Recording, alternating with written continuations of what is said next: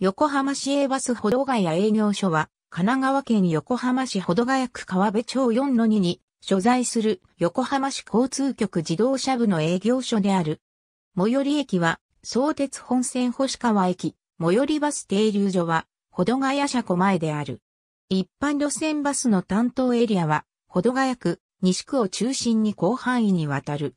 また、高速道路走行が可能な貸切専用車が在籍するため、長距離の貸し切りは原則として、当営業所が担当する。1959年開設。なお同年には、横浜市営トロリーバスが運行開始されている。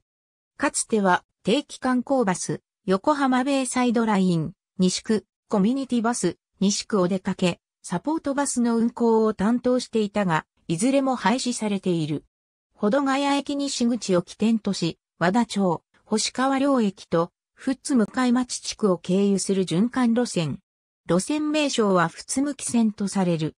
両方向で運転され、行き先表示には、経由地である、富津向町団地と終点の、保土ヶ谷駅西口に、循環方向を示す、桜ヶ丘周り、大門2周り、ケアプラザ周りのいずれかが併記される。2010年3月23日からは、循環便に加え、和田町駅発着便が運行されている。和田町駅発着便に関しては、同駅発着の相鉄バス同様、星川小学校前付近の行動を2度右折する形で折り返す。全便小型車で運行される。路線名称は、星川線。かつては、保土ヶ谷駅西口横浜駅西口を結ぶ路線のみが存在していたが、後に、保土ヶ谷駅発着の循環線が設けられ、時計回りの桜ヶ丘循環と、半時計回りの大門通循環の双方向が運行されているほか、大門通発着便と幸福寺発便が運行されている。沿線には、保土ヶ谷野球場、保土ヶ谷公園があり、高校野球の試合開催時やイベント開催時には大変混雑するため、臨時便が運行される場合がある。2017年には相次いで区間便の新設が行われ、7月24日のダイヤ改正では、明神台桜ヶ丘保土ヶ谷駅西口の区間便が、10月1日のダイヤ改正では、星川駅桜ヶ丘保土ヶ谷駅西口の区間便が新設されている。358系統は25系統の深夜バスで、天皇町駅ほどがや車庫前は通常回送車のみが運行する経路を経由する。1994年の路線再編までは、芹ヶ谷地区から国道1号、藤棚、戸部本町、吉田橋、第三橋を経由して、山下不頭への路線であったが、同改正以降は、平和台折り返し場とほどがや車庫前を結ぶ出入庫便のみが残った。同時に本系統は国道1号線沿線から保土ヶ谷区役所への通所対策も担っている。本線系統の名残として、現在も内部での路線名称は桟橋線である。2005年には、芹ヶ谷地区の神奈川中央交通以上を目前としてのダイヤ改正が実施され、同改正以降、保土ヶ谷車庫方向のみの運行となった。横浜駅西口と大口駅を東博学、白畑地区を経由して結ぶ路線。白畑中町白畑東町間は、横浜駅方面のみ、白畑東町商店街を経由して運行される。共愛区間を通る箇所があるため小型車で運行される。32系統久保山線は、もともとは、保土ヶ谷車庫前から、久保山霊道前から坂東橋、県庁前から一本松小学校を結ぶ長大路線であった。1998年1月19日に、県庁前から一本松小学校前が89系統として分割された。新県庁前発の袋は県庁前発だったが、2001年に変更された。悲願時は元久保町、久保山霊道が一方通行となる時間が存在するため、当該時間に運行する便は元久保町から朝日4と同区間を走行する。79系統と同様、平日の朝夕は日本、大通駅県庁前駅、新県庁前発となるが、79系統は本町4丁目経由に対し、東欧系統は路線分割前の名残で開港記念会館前を経由する。2018年3月のダイヤ改正に伴い、平日換算時と土休日の行き先が関内駅北口から市庁前に変更された。なお、袋は従来通り、関内駅北口始発である。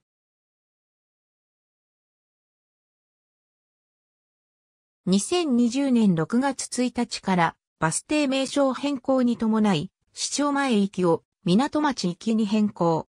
ただし、前面の行き先表示では一つ手前の地下鉄関内駅が大きく表示され、港町は右端に小さく表示されるのみである。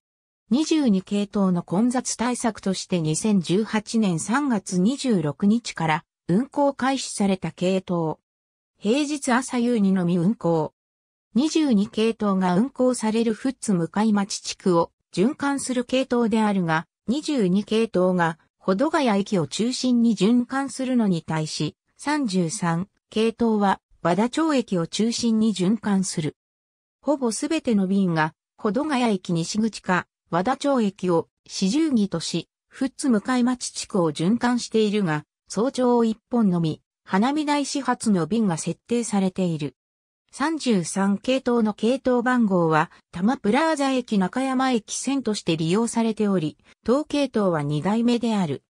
沢渡り循環と呼ばれる、横浜駅西口から緑嵐高校、沢渡り地区を経由し、横浜駅西口へ戻ってくる一方循環路線。三沢総合グランド入り口泉町間に一方、通行区間や道幅が狭い区間が存在するが、大型車が充当される。浅間町営業所との共感系統である。2020年5月2日の横浜市立市民病院の移転に伴うダイヤ改正で平日日中に限り市民病院への乗り入れを開始した。本系統において雨の日臨時便が運行されていたが、2011年5月29日をもって廃止された。浅間町営業所との共感である。35.50系統とも路線名称は35系統栗田屋線だが、横浜駅の乗り場には35系統が三沢循環と表示されている。かつては外回りの35系統のみ存在したが、現在は臨時便を経て設けられた50系統の方が横浜駅発の本数は多く、立場が逆転してしまった様子である。当初、関大寺入口三沢西町間は、三沢墓地、三沢中町を経由していた。そのためか、市営地下鉄の新横浜延伸までは、お盆とお彼岸に、横浜駅西口泉町三沢中町、関大寺入口栗田屋泉町、横浜駅西口という臨時便が運行された。346系統は2013年8月1日から23日の平日ダイヤで運行された35系統 E の急行便運行後に行われたアンケートの結果を元に新設された急行便である。35系統 G が横浜駅西口浅間下関大寺入口、松本横浜駅西口の循環便であったのに、対し346系統は関大寺入口横浜駅西口のみの運行となっている。いずれも松本横浜駅西口間を泉町経由で運行されている。かつては50系統の深夜バスとして362系統が平日のみ運行されていたが、2020年5月2日のダイヤ改正をもって廃止された。362系統は循環せずに、浅間下から歩道が谷車庫前へ向かっていた。こちらは本営業所のみの担当であった。市営バスで唯一、他路線と接続しておらず、走行距離 1.33km と最短距離の路線。路線名称は、くぬぎ台団地線。ノンステップバスで運行される。近年は、横浜市営バスの路線別収支で営業係数トップが続いていたが、平成26年度の路線別収支が52.6になり、本目営業所管轄の91系統の路線の営業係数が52.1になり、平成19年以来の営業係数トップの座を奪われた。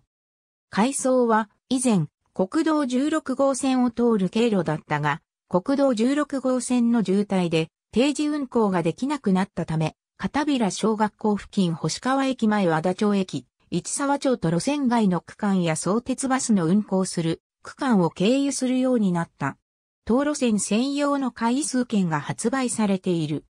発売額は4450円で、表紙面に5000円と印刷されている。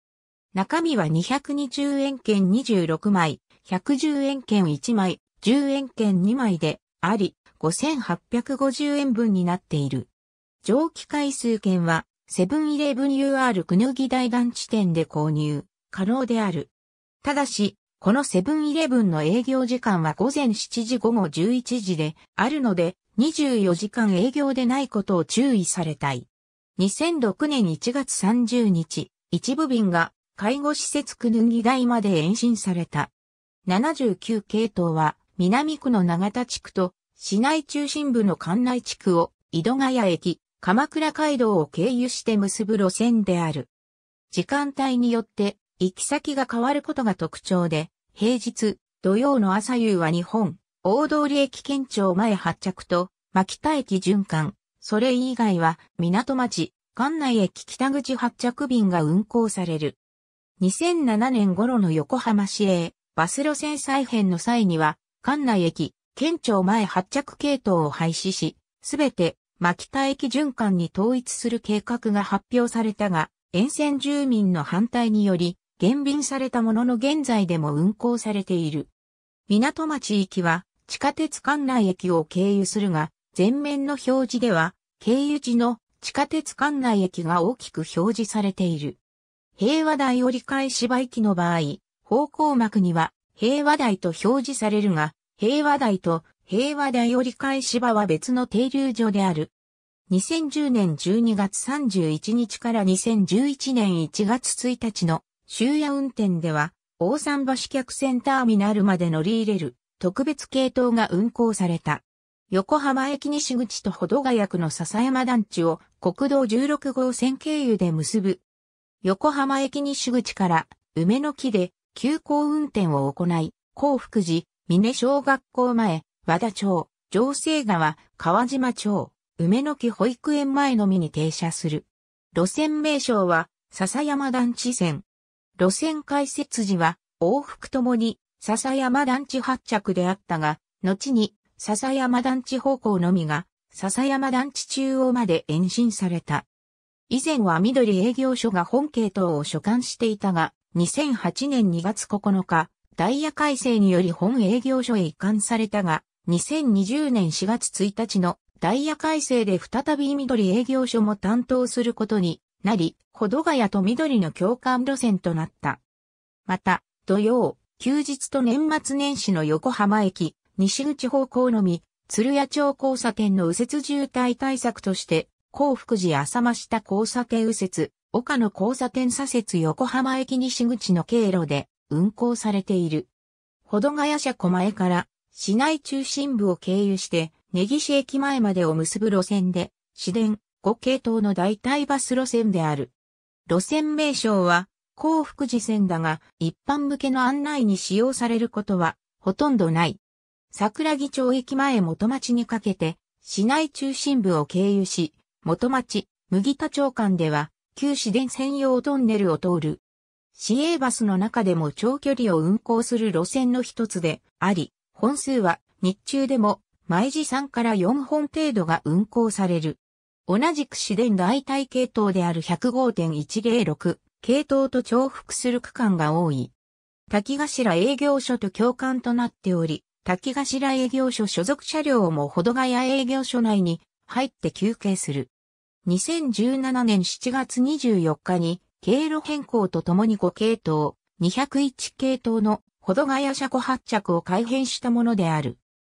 改変前は峰小学校経由があったり、土休日の横浜駅、西口港は201系統にもかかわらず、全便が岡野町を経由、それ以外の便は鶴屋町経由だったが、改変後は峰小学校経由は廃止、すべてのバスが岡野町経由となりシンプルな形となった。横須賀線東戸塚駅と境木、平戸地区を結ぶ路線である。路線名称は、境木線である。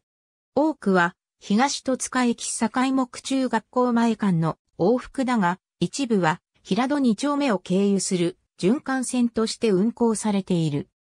1995年の路線開設以来、全便が小型車で運行されていたが、2005年12月からは、東戸塚駅境木中学校前の一部便について中型車で運行を開始。その後も中型車運用の割合は上昇し、2017年10月1日以降は全便が中型車で運行されている。2008年6月16日からは東戸塚駅発公務員住宅域深夜バスが新設された。相鉄本線鶴ヶ峰駅と資源循環局朝日工場に隣接する老人福祉センター福寿層を結ぶ。路線名称は福寿層線。路線開設当初は若葉台営業所が所管しており、5.115系統と共通運用の大型車が使用されていた。2004年に218系統防用台線が運転開始した際に本営業所へ移管。両系統で共通運用の小型車仕様へと変更された。保土ヶ谷車庫前、保土ヶ谷駅東口と瀬戸が谷地区を結ぶ路線である。全便小型車で運行される。2001年10月1日に、保土ヶ谷車庫発着便が設定された。2008年7月14日からは、保土ヶ谷駅発の深夜バスが新設された。東戸塚駅と坂木元町、権田坂地区を結ぶ一方循環の路線。朝ラッシュ時間帯は毎時2本、その他の時間は毎時1本運行されている。横浜市地域交通サポート事業を活用し、2018年9月30日まで1年間の試験運行を実施し、翌10月1日から本格運行に移行している。資源循環局朝日工場に隣接する老人福祉センター、福寿層から相鉄線、西谷駅を経由し、保土ヶ谷区上菅田町の住宅地を結ぶ路線である。福寿層前、または荒井中学校前発着の循環線が基本であるが、朝、夜には、防用台入口や上姿小学校で奇襲点となる運行がある。2011年3月からは、高和台地区への乗り入れが開始となり、荒井中学校前発着の固形島マイナスが新設された。高和台地区内の停留所はすべて片方向のみの設置となっているが、荒井中学校前を通して乗車することはできない。2021年4月1日のダイヤ改正で廃止、大幅に運行本数が減少した62.92119系統の代替として設定された路線。笹山団地から神奈川県道109号、国道16号を通り千岩大団地までを結ぶ路線で、相鉄本線、相鉄新横浜線の西谷駅を経由し市中は、一方のみ線岸大集会所まで運行する。笹山団地梅の期間は92系統、梅の木線丸大団地間は、神奈川中央交通62系統と重複区間である。前身となる62.119系統から、引き続き梅の木線丸大団地間は、神奈中バスとの共通定期券の適用区間となっている。横須賀線東戸塚駅と平和台折り返し場を結ぶ路線。東戸塚駅と平和台を結ぶ路線としては、神奈川中央交通が品恋口、国道平戸経由で運行する横17、東21.205系統などがあるが、これに対して260系統は、境目地区経由で平和台へと向かう。東戸塚駅境目中学校前間は210系統と同様のルートをたどるが、260系統は境目中学校からその先の平和台折り返し場へと向かう。平日は朝夕のみ、土休日は日中のみ運行され、全便中型車で運行される。この系統の新設により、2006年3月の77系統以上以来8年ぶりに平和台方面のゴンタ坂上、児童遊園地入り口バス停の市営バスが復活した。2016年4月1日から運行を開始した、精霊横浜病院発着の一方循環路線。休校表記はされていないが、精霊横浜病院、堺の谷、藤棚、水道道、保土ヶ谷駅東口、保土ヶ谷橋にのみ停車する。小型ノンステップバスで運行される。精霊横浜病院では、正門前を発着場所としている。平日のみ運行され、日中は、精霊横浜病院を発着地とした循環便として運行されるが、保土ヶ谷駅東口発の始発便は、保土ヶ谷駅東口精霊横浜病院、精霊横浜病院運発の最終便は、精霊横浜病院保土ヶ谷駅東口の区間便となっている。2013年4月1日に運行開始した予約制高速バス。予約は、保土ヶ谷営業所ではなく、ハワイアンズ東京予約センターにて受け付けている。ただし、ハワイアンズ内にある4つのホテルの宿泊客に限り、利用できる。吉光山、若葉台中央、横浜動物園発着の路線がメインで運行されていた。保土ヶ谷車庫発着は、当営業所の単独、それ以外は若葉台営業所と共感系統であった。2008年2月12日をもって、吉光山発着を廃止し、若葉台発着を神奈川中央交通に移管した。残った横浜駅西口ほどがや車庫の便は引き続き、東営業所が担当していたものの、2017年7月24日のダイヤ改正により経路変更とともに207系統に名称変更した。市営バスで唯一の川崎市内乗り入れ路線。1981年の広北営業所の開設に伴い、それまで保土ヶ谷担当であった59系統並びに、旧80系統を港北へ移管したことから、代わりに、旧鶴見営業所が、生麦営業所と共同運行していた7系統の大部分が移管されたもの。1994年頃に、鶴見営業所へ移管された。経路変更前の28系統のうち、平和台発着便の多くを担当していた。当初は山下不頭入り口止まりだったが、後に山下不頭まで延伸された。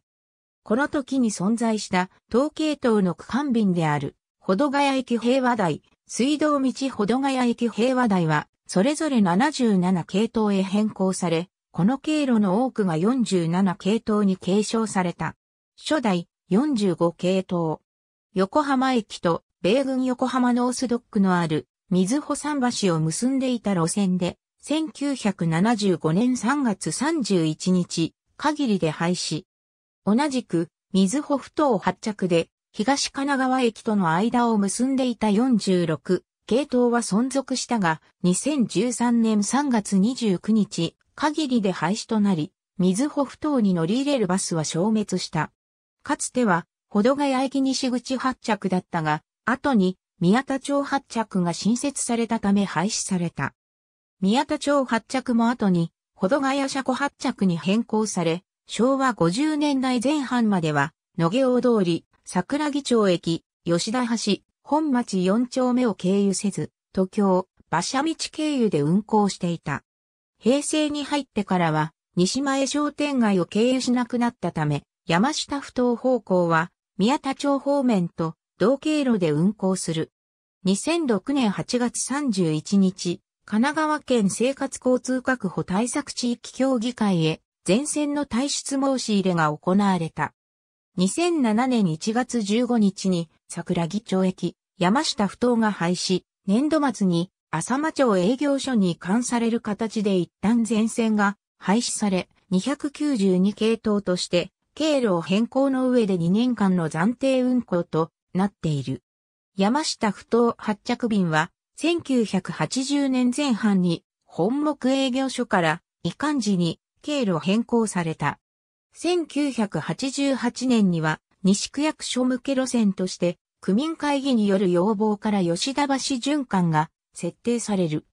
1990年前半に山下不当発着便が廃止されたが、1998年に経路変更の上浅間町営業所へ一貫された。遠隔横浜駅と旭区の線丸大団地を結ぶ路線である。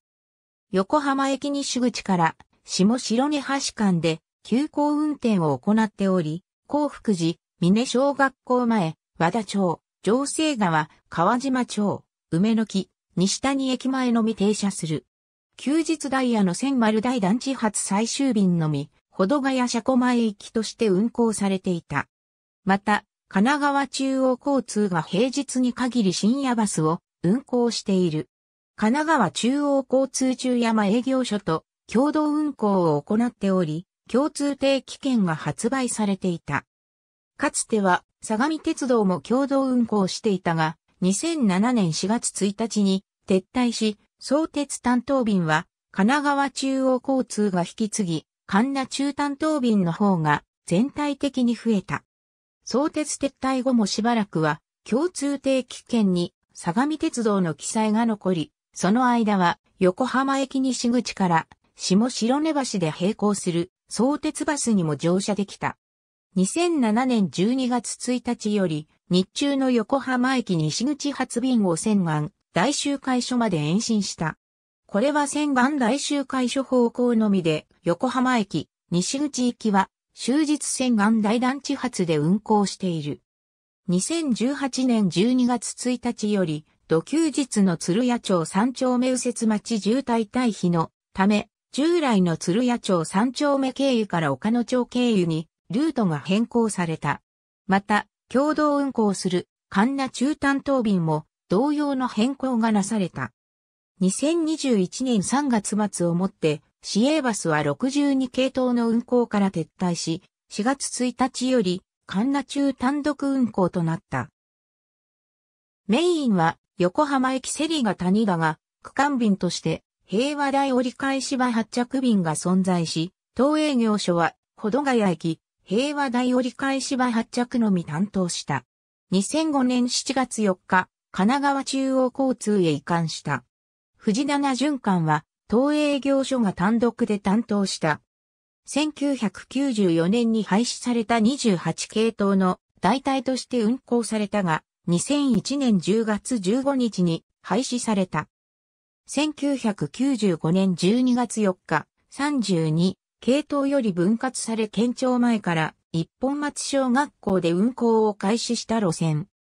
1999年9月10日以降は、県庁前から山下不頭を延伸し、山下不頭、県庁前から一本松小学校の運行となった。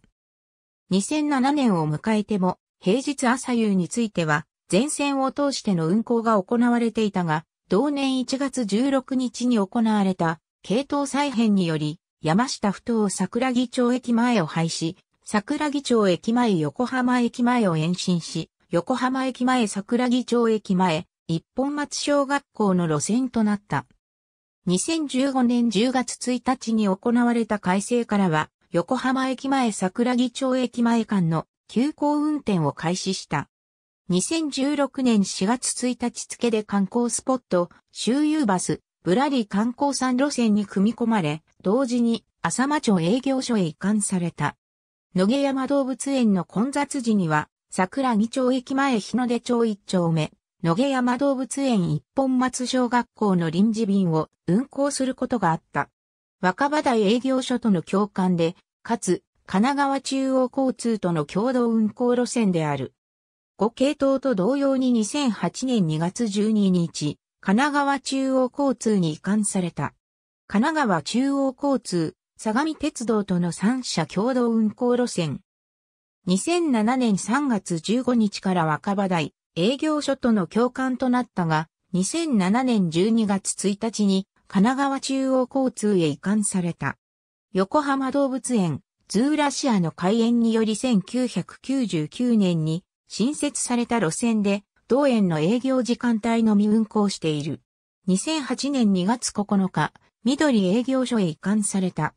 定期観光バス、横浜ベイサイドラインとして運行されていた。横浜駅東口を発着し、各午前や午後、また夜景コースなどといったコースがあり、予約制であった。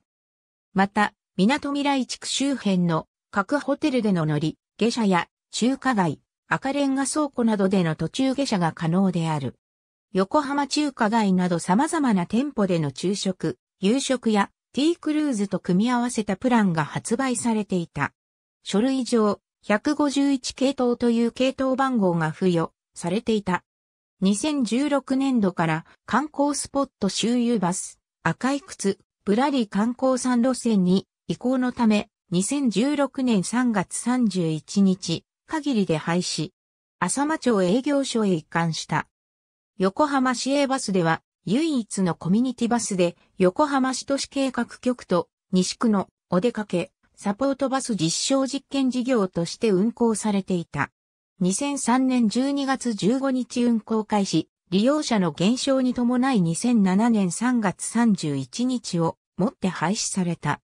この系統番号は後に横浜駅と赤レンガ倉庫を結ぶ直行バスが使用していたが、こちらも廃止された。50系統の深夜バスである。平日のみ運行されていた。2020年5月2日のダイヤ改正で廃止された。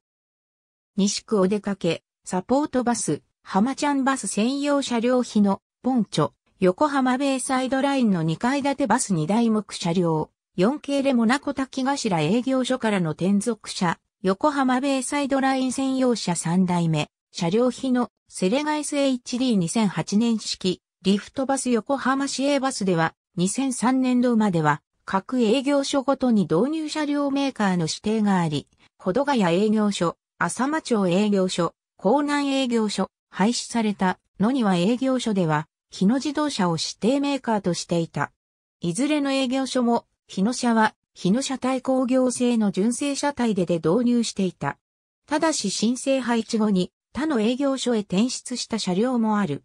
大型路線車は横浜市営バスでは主流のホイールベース4.8メートルの短尺車を採用。日野 RE を多く導入した。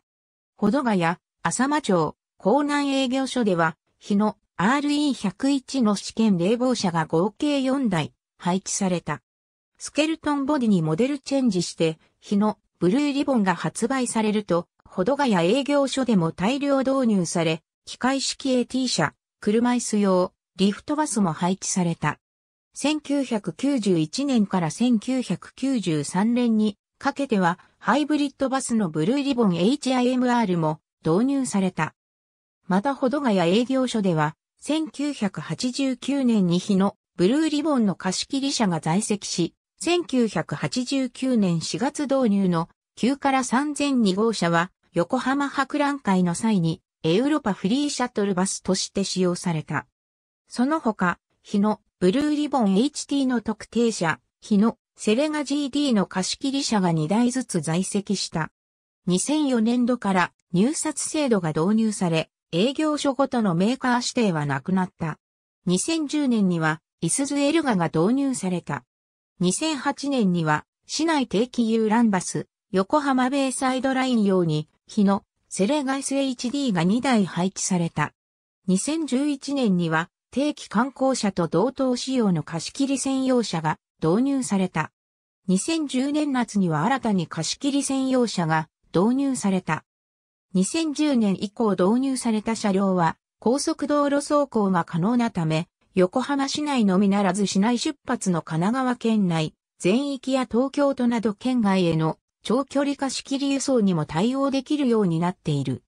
中型車は、1998年に日のレインボー RJ が配置され、32.89210系統で使用されていたが、2013年より新車の日のレインボー2が導入され、一部を除き RJ を置き換えた。